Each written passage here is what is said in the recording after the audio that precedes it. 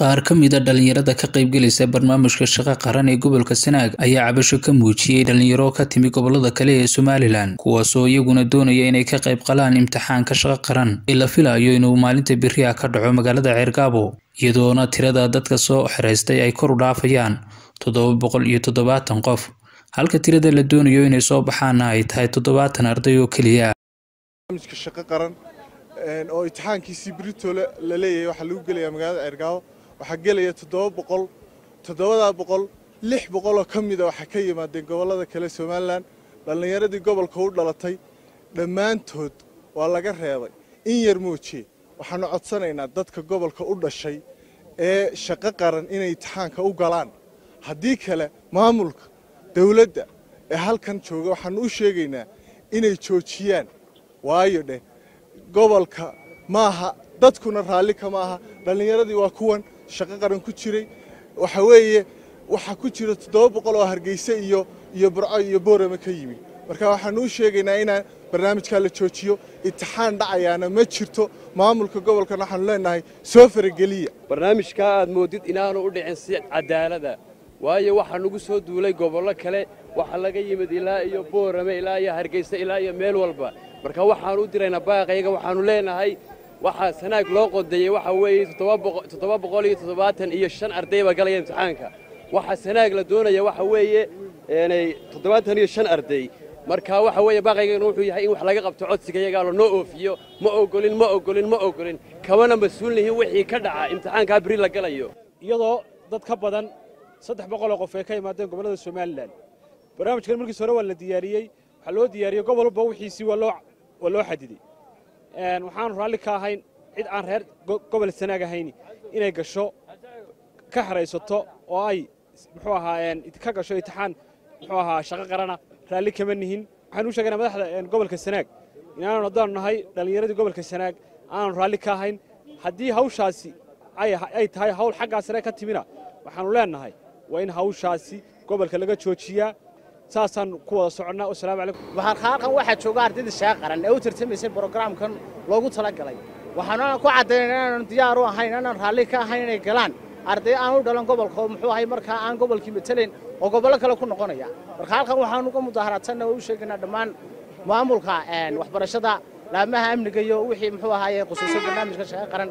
In la joojiyo ardayda aan u dhalan gobolka oo ay ka galaan gobolladii ay u dhasheen muxuu ahay imtixaanka halkaana waxaanu baaq dheer uga diraynaa muxuu ahay madaxweynaha jamhuuriyadda somalilan ee barnaamijkan ku wanqalay shaqo qaran waxaanu leenahay hana laga joojiyo ardayda ayaga. Awalba fursadaha galbeed naga soo gaadhaa aad bay u yaraayeen. Markaa fursadaha galbeedka naga soo gaari jiro markoodii horeba aad u yaraa. Markii reer galbeed laga daba keenay xaggeeba say macquul u noqonaysaa?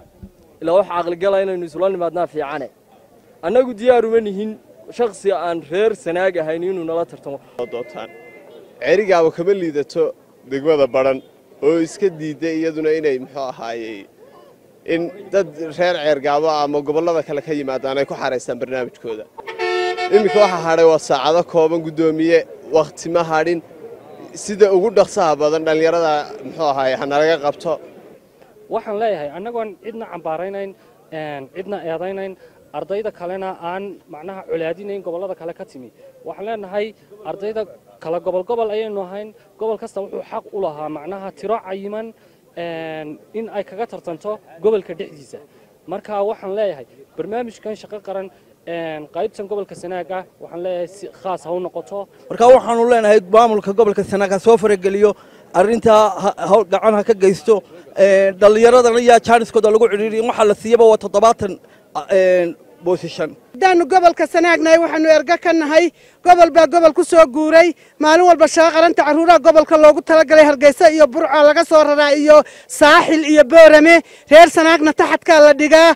Waxaannu leenahay dawladda dee gobol gobol kuma soo guuro. Laascaanood waa diidey badhani waa diidey sanaag waxaannu leenahay dee carruahayagaa la reebaa. Dawladdu ha samayso cadaalad ha samayso. Wasaaraduhu cadaalad ha sameeyeen. Qolada imtixaanka sidee cadaalad ha samayso. Gobol gobol ku soo guuray ha nala ka daayo. Haddii kale dee imtixaankaba ha iska daayeen carruuruhu ilaa toban boqol gobolka jooga oo boqolkiiba taxadka la dhigo oo inta kale dad kale lagu buuxsado foonka. Dee ma ogolin ma ogolin aanu ma ogolin tiradii gobolkan oo iskaba yarayd gobolkan oo dulman oo tiradiisu markiisa horeba iska yarayd ayaa saddex boqol oo ciyaal ah laga keenay galbeed oo la leeyahay ceergaabay ku xeraysteen. Maadaama moobilna laga xeraynayo laga dirayey. Annagu haddeer waalidiintii baanu nahay waalidiintii carruurtaa ku tabacday baanu nahay. Haddeer un baanu islahayn carruurtu dee ha dhaqdhaqaaqdo.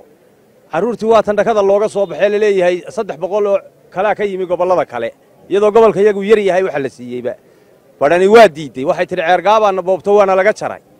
Annaguna waxaannu leenahay wixii aan magaalada u dhalan ee ardaydii magaalada ahayn hanala ka reebo.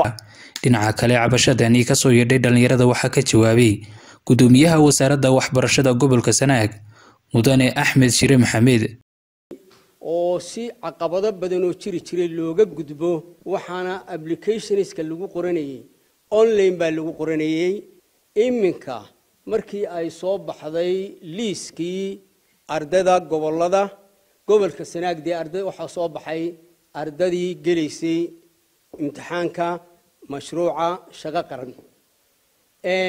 Ilaa xalaytoo waanu maqlaynay warar soo baxaya oo odhanaya meelo kalea laga yimi. Horta waxa weeye ardada shaqo qaran guud ahaan waxay matelayaan jamhuuriyadda somalilan jamhuuriyadda somalilandna xuduudda ma kala lahaa. Oo la odhanayo xuduuddaas xuduuddaa lama geli karto.